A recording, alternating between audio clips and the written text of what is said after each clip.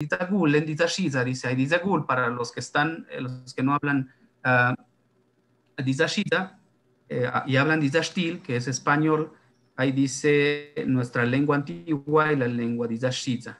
Primero, muchos dicen que es Dijaza, Dijaza, Dizakika Nebenigulas o Dizakika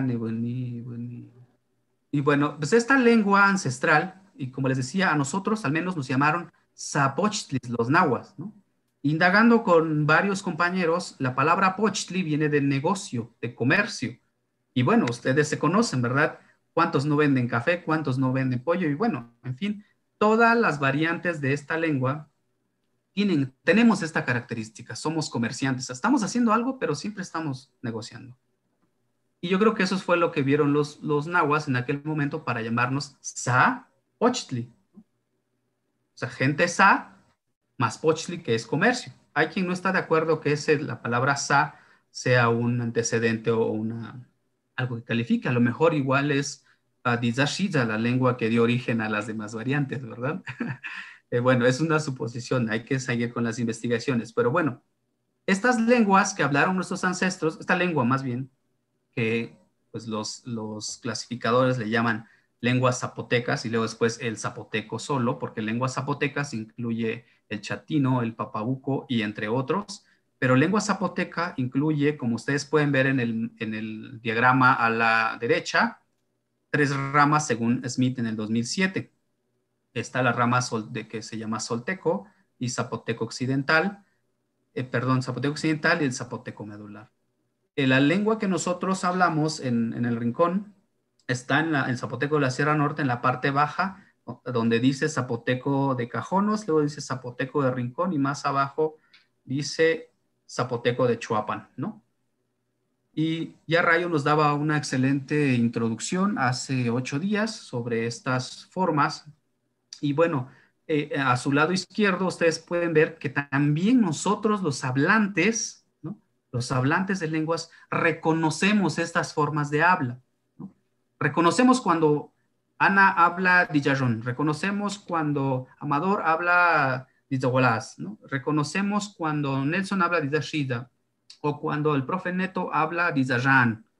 Dizajan a muchos no les gusta porque antes lo relacionaban con nalga, pero no tiene que ver con nalga, tiene que ver con la parte baja de la, de la sierra eh, y que vamos a hablar más adelante.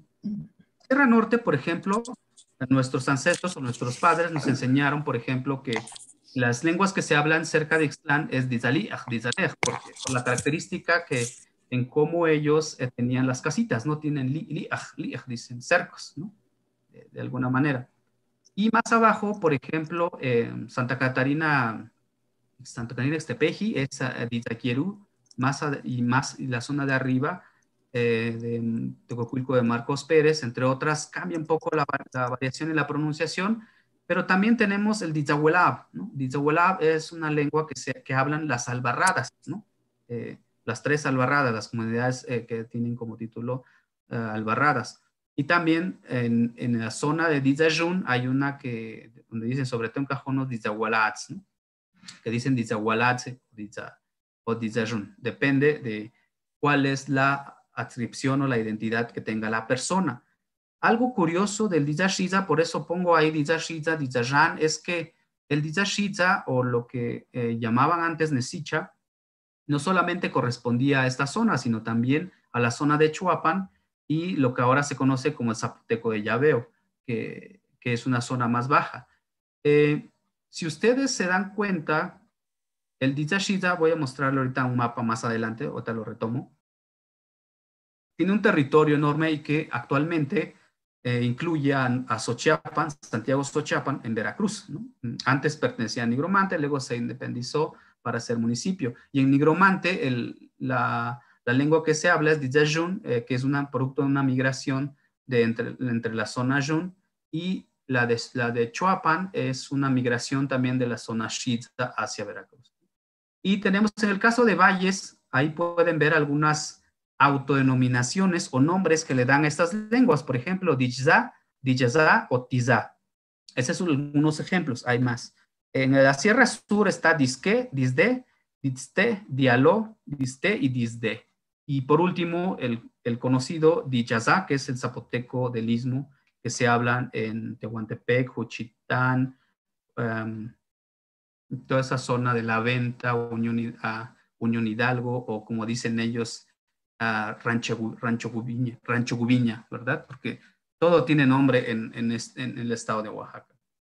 Bueno, entonces estos, este mapa que ustedes pueden ver aquí es un mapa del territorio de la lengua Sa, Sa, Shiza, y en la parte baja, que no se ve muy bien, traen colores y esas son las variantes que se distribuyen en todo el estado de Oaxaca. El, el Dijazá es el que está en esta zona donde está señalando mi cursor y, y también en esta zona de eh, pegada a, la vía, ¿cómo se llama? Se me olvida este nombre, que está, que colinda con, los, con la zona Ayuj.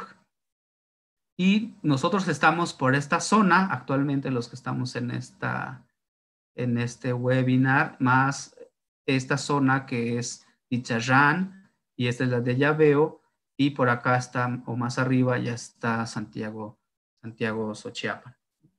Y si se dan cuenta, cómo las variantes de Sierra Sur están desplegadas, y no existe una variante de la costa porque según algunos colegas, como Mario Luna y Rosemary, eh, señalan pues que pertenecen más a la Sierra Sur, que son productos de migración, incluso alguna, algunas lenguas de valles, como sabemos, son migraciones de valles hacia el sur, por eso hay un entendimiento entre ellos y se podrían agrupar. Y este es el territorio de la lengua de ¿no? Eh, como les decía hace un rato, esta es la zona que, eh, corresponde a la que, bueno, más bien a la cual yo, fui, yo visité para poder hacer esta propuesta de escritura Ah, esta zona hablan un poco distinto porque cambian la entonación y conservan más vocales que nosotros. Por ejemplo, en eh, eh, dicen Shizua, ¿no? Y en esta dicen Shiza. Y en Chuapan cambia un poquito, pero nos entendemos. Y en todo el norte del estado de Oaxaca, por ejemplo, ayer o antier que vi eh, una participación de Ana Alonso, le entendí, le entendí muy bien y habla de Yajun. Eh, ¿Por qué será? Por la convivencia que tenemos, por las diferentes formas. Chica que era de Sepiadet y, según el texto de Michel Odig, se llama Talea y Juquila, dos pueblos en la sierra o algo así, ah, habla sobre esta relación de migración que hay de valles hacia hacia el, hacia el rincón, ¿no? Sobre todo en Tanetse, Etzelala y la zona de Royaga como límites. algo curioso que les voy a platicar más adelante es una variante de, de Temascalapa que hace una especie de co-switching, ¿no? Entre justo lo que hago de repente, hablar de español y desperté una mañana ahí en, en, el, en el, patio de, bueno, en el, ¿no? en el patio de, del municipio porque ahí me dieron donde dormir y empieza el, el que anuncia, ¿no? Dicen, a ver, naga parzoca precio, que es 50 pesos, entonces empieza a cambiar y hay una especie de co-switch en, esa zona, muy interesante. El zapoteco, bueno, el, el dizashiza de esa, de esa comunidad. Y bueno, quiero mostrarles este mapa eh, como ustedes pueden ver en los recuadros azules y en el círculo azul, Otatitlán, Juquila, Tanetse, San Juan Yaez, Santiago Camotlán, Yatzona, Santa María Temascalapa, y también explorar un poco Santo Domingo Roayaga, fue parte de mi propuesta para poder realizar esta propuesta de escritura que se está desarrollando actualmente en Talea de Castro, Tanetse, a Yotao me han invitado algunas veces, eh, tenemos un compromiso todavía con Yalawi, eh, con algunos pueblos de Yovego. Lo curioso es que cuando estaba en Camotlán, eh, de, Asunción, de Yovego, de Reagui y de Yetzelala, porque de ahí sale la camioneta que te lleva hasta la Chihuizi, que es Ixtlán. Entonces eh, dije, bueno, eso me, me, da satisfacción porque quiere decir que si hay un entendimiento más claro entre, entre estas eh, agencias. Son agencias de Santiago Camotlán. Yo pensaba que Camotlán, por la distancia que tiene, pues iba a estar más viva la lengua, iba a encontrar cosas más interesantes y no. hay menos hablantes de Dizashiza en, en ese municipio. Y comúnmente usan tonos altos, ¿no? Por ejemplo, Nisa o Shiza, entre otras formas. Por ejemplo, San José Tiltepec y Yagavila, que es el que, el que habla aquí nuestro anfitrión, eh, no tuve la oportunidad de visitar, pues ustedes saben que la maestría son de dos años y pues eh, me gustaría hacer trabajo de campo ahí, aunque pues como se dan cuenta hay un entendimiento pues fluido entre nosotros, eso quiere decir que esta lengua está fuertemente, eh, pues tiene una fuerza sorprendente en la inteligibilidad.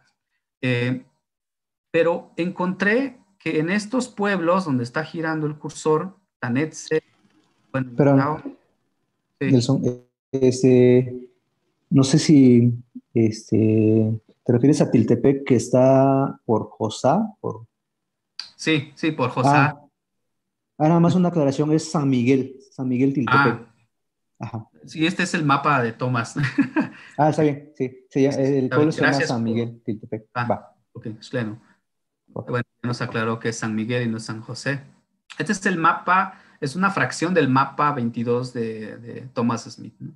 Y bueno, lo que les comentaba es que estas comunidades que están en esta zona baja, Tanetse, Otatitlán, Talea, probablemente Temascalapa, Porvenir, pierden muchas vocales a final de palabra, que es lo como se han dado cuenta en mi pronunciación en Didashida, y otras, por ejemplo, en San Juan Yae, que conservan mucho, mucho las vocales, en Santiago Camotlán también, en Yatzona está la lengua súper, súper, súper vital.